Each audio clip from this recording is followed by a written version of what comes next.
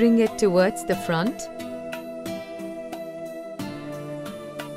Fold the sari in a broad pleat.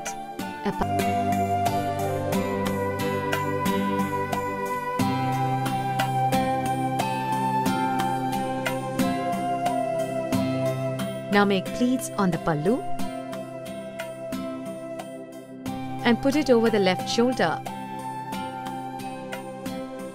Secure it with a pin.